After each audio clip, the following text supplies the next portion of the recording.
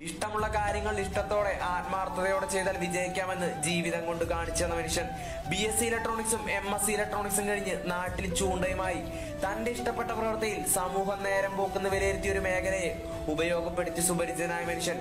ഈ ചൂണ്ടയുമായി നടന്നിട്ട് എന്ത് കാര്യമെന്ന് ചോദിച്ചവർക്ക് മുമ്പിൽ ആറായിരം രൂപയുടെ ചൂണ്ടയുമായി നടക്കുന്ന അത്ഭുത ചൂണ്ടക്കാരൻ എന്ന് വിലയിരുത്തിയവർക്ക് മുമ്പിൽ തന്നെ കുറിച്ച് ഇന്ത്യൻ എക്സ്പ്രസിൽ എന്ന ആർട്ടിക്കിൾ പരിചയപ്പെടുത്തിയ ചൂണ്ടക്കാരൻ. ഹരിക്കുട്ടന്റെ സ്വന്തം സെബിനച്ചായൻ നമ്മുടെ സ്വന്തം സെബിൻ സിറിയ.